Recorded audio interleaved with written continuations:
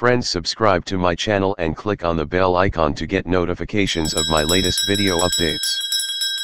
Hello friends, today I am going to show you how to format the pen drive or flash drive which cannot be formatted.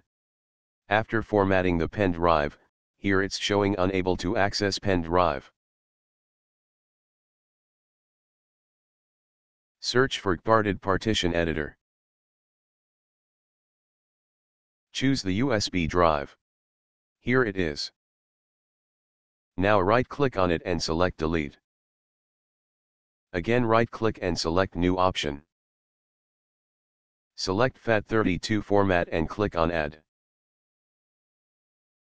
Now click on tick mark and apply.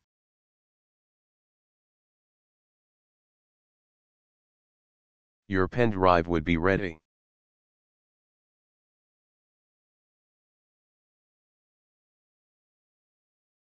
Here you can access the pen drive. It's done. Friends subscribe to my channel and click on the bell icon to get notifications of my latest video updates. Thank you.